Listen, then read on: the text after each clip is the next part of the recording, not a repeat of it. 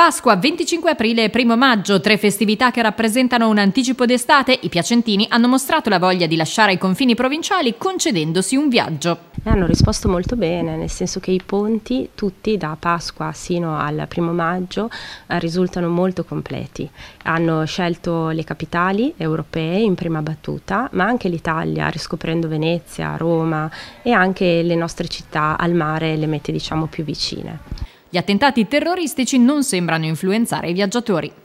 Se ne parla, però non mi sento di registrarlo dalla percezione proprio dei clienti che comunque hanno scelto eh, anche di andare a Mosca, San Pietroburgo, sempre per questi ponti, e poi anche destinazioni di mare più a lungo raggio, come Mauritius, oppure un medio raggio come Porto Santo, Capoverde.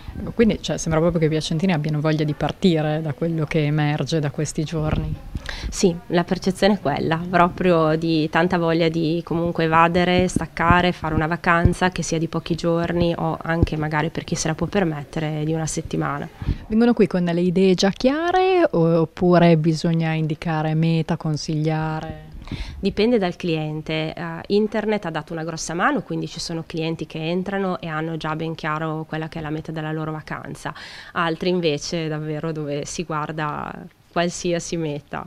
E poi invece c'è già chi pensa all'estate, ha già prenotato? Sì assolutamente per l'estate, agosto, ma anche settembre e anche ottobre. C'è già una meta che può essere quella più gettonata? Come l'anno scorso tantissima Sardegna.